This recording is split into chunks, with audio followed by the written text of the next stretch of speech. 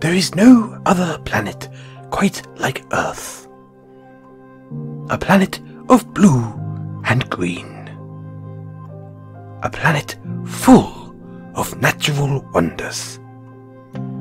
Join me as we explore this wondrous planet that we call our one and only home.